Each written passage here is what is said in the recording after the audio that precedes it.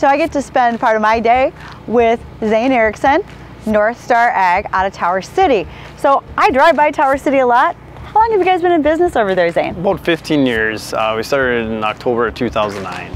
And if I saw right, there's a sign around here somewhere that says largest inventory in the upper Midwest. Yep, yep. We have a ton of inventory. Uh, we try to have one of everything to have what the guys need when they need it. So what are some of the things that we can look at today? Let's look around. The Thunder Creek fuel trailer.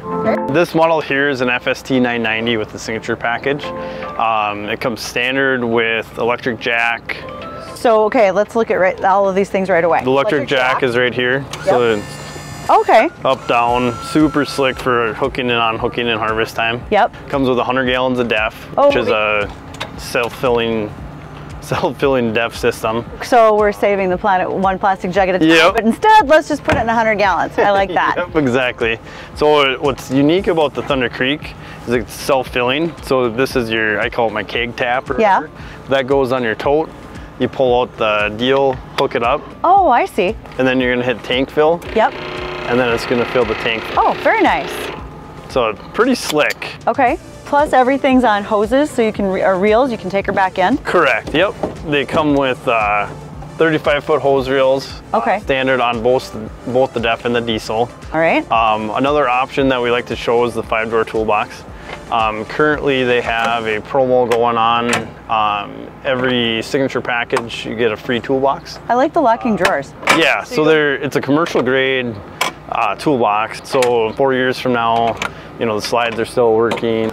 They're not all pounded, pounded huge. out type of deal. Okay. Um, next we got the 40 gallon minute fuel uh, fuel pump or whatever. Yep. Um, comes with 35 gallon or 35 foot hose reel. So this is its own compartment, so it kind of keeps the diesel mess off on its own. How much diesel can you pump like per minute? Uh, 40 gallons a minute. So it fills a combine in about 10 to 15 minutes, depending on what you're doing. That's a fast operation. Yeah, it really speeds it up or whatever. Yep. So the biggest selling point about a fuel trailer is speed yes. and then having all your tools and everything with you. And this one here is a service trailer. Okay, so you've got fuel and service on it. Yep. But here's the thing that I really like, and that would be this light. Yep we're all pushing the hours that we're out there. For sure. So the it's a light tower that's self-contained. Okay. Um, so you fold it up and you have it illuminates the the area that you're servicing.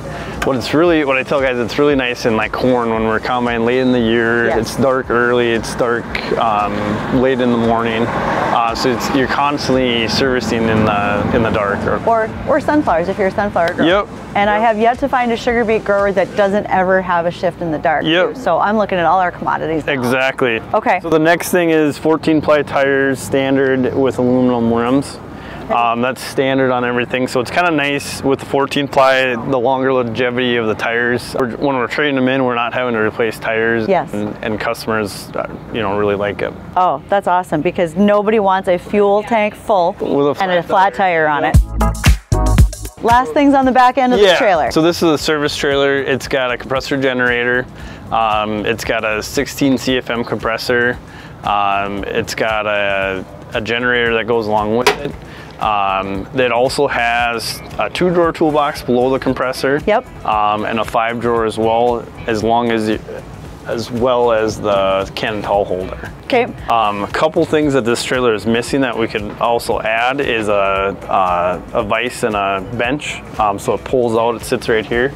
Yeah. Pulls out, and then you have a workable bench. That is actually pretty awesome. I mean, yeah. the whole idea of being able to take the workbench and the vise with is excellent. They're slick. They're really slick. So comes with 30 foot hose reels, both on the electrical and the air. The compressor comes with enough CFM to blow off a combine or do. Oh, good. So whether we're in bean harvest, sunflowers, that yep. type of thing, so we can take all the dust off. Yep, exactly. Nice.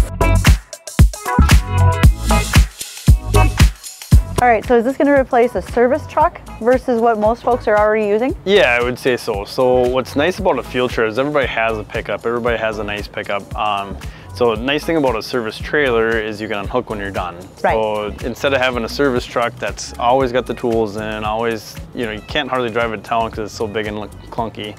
Where now you can have your nice pickup, hook up to the service trailer, and go out and um, service the combine or whatever you're doing in the field. I like that a lot.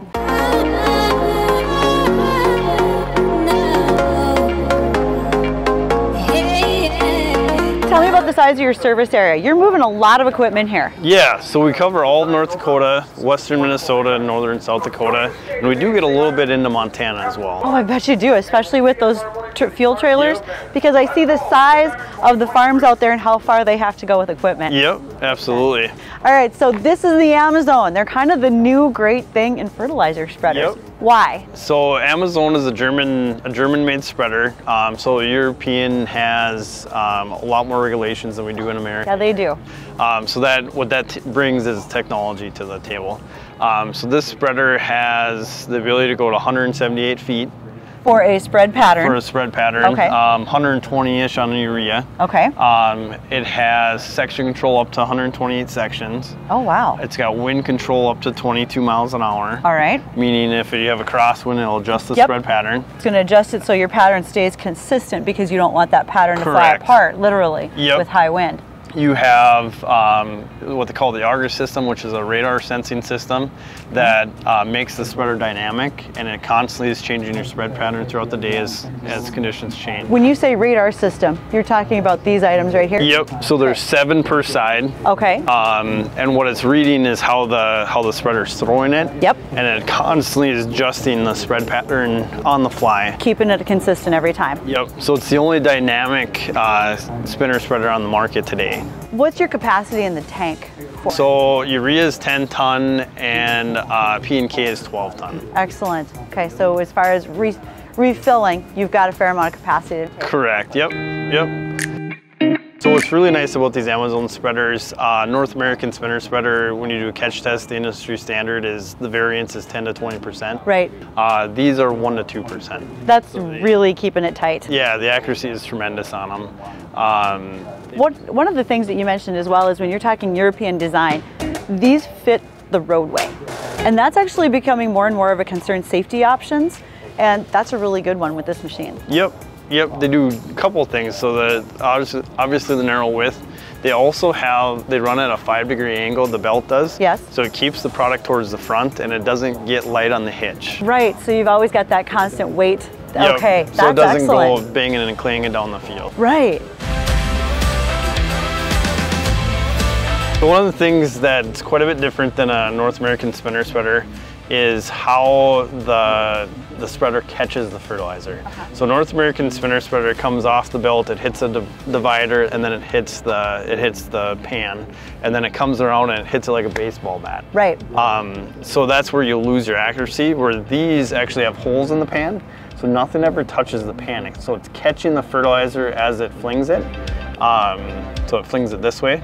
Yep. And uh, that's where you get your accuracy because it's throwing it, Oh, not hitting it. I see what you're doing with it. Okay. And how it how it does the wind control, how it does the section control, how it does all the stuff, is it changes the drop point Yep. where it hits the the deflectors. Type Okay. Um, so it, it- that's where it gets its its accuracy. Um, another thing that it has the ability to do on your outside fertilizer pass is border control. Yep. Um, so obviously, so this has a 100% overlap. So the, the spread pattern is a perfect triangle.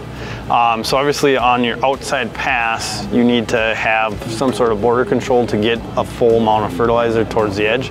So that's done right here, where um, underneath it, it flips this deflector out so it, the fertilizer comes out this way. Right. Um, so what it does then, instead of being a triangle, it's more like a square on this side, um, and it makes a nice corner. Um, and it's really, it's really something to watch when you do hit it. You can just see the the, The way it goes pattern out and change. falls, Yeah, yes. it's almost unreal. Like, how does it do that type of deal? So after all this time with North Star Ag, how people find you, Zane? So we're right off the exit on the south side of, of exit 307 and Tower City exit.